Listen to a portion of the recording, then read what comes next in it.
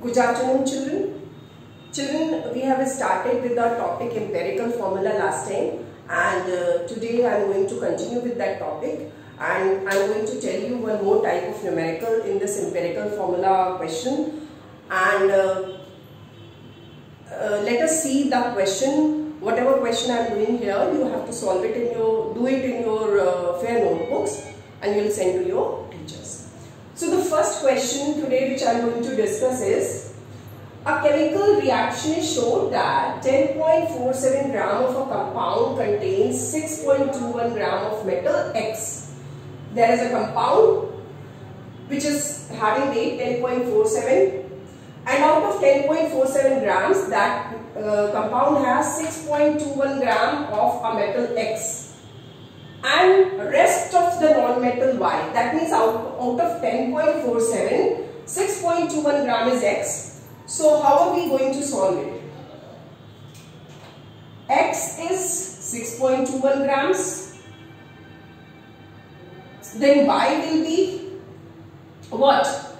10.47 is the total weight. So Y will be 10.47 minus X that is 6.21. It will be coming near about 4 uh, 26 grams. So in this compound, the total weight of the compound, weight of compound is equal to 10.47 grams, X is 6.21 and Y is 4.26. Now here in this question, you have to calculate the empirical formula. And last time I told you that empirical formula, uh, in the question you will be given the percentages of various elements. But here the percentages of the elements are not given. You are being given the total weight of the compound and weights of the various elements. You have to calculate the percentage. One step is increased. So how are you going to calculate percentage of x?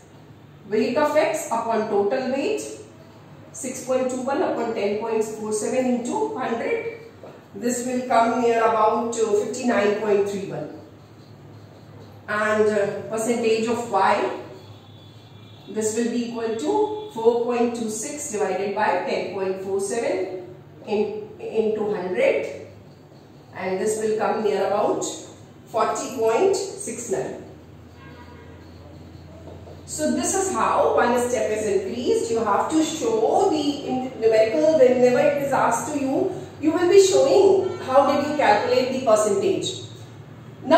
Calculated the percentage. Now in this question, we are again going to do the same thing as we did in the last class. The numerical we did in last class. We have made a table.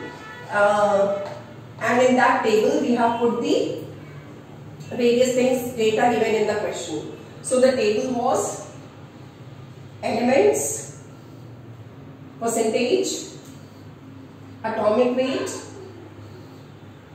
relative number of atoms and the last was simplest whole number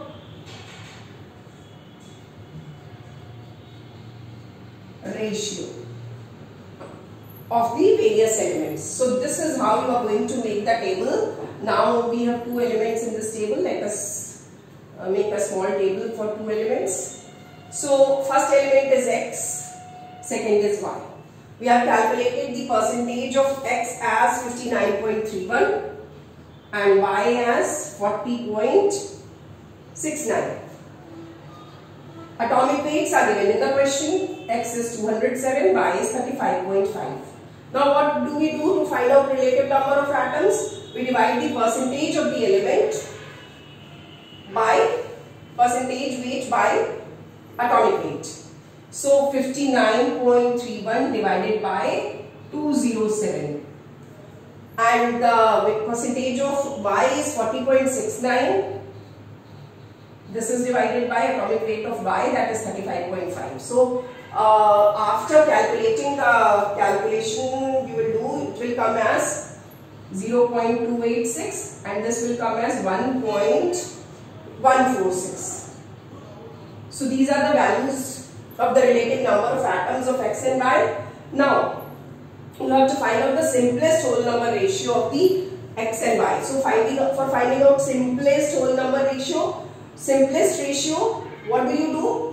whatever is the smallest figure out of these relative number of atoms, to find out the simplest ratio of number of atoms, what do you do?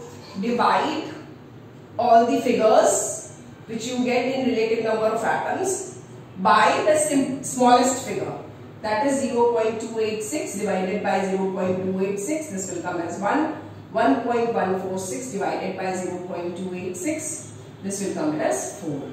So this is the simplest whole number ratio of x and y and this will provide you the empirical formula. So the empirical formula of the compound will be empirical formula will be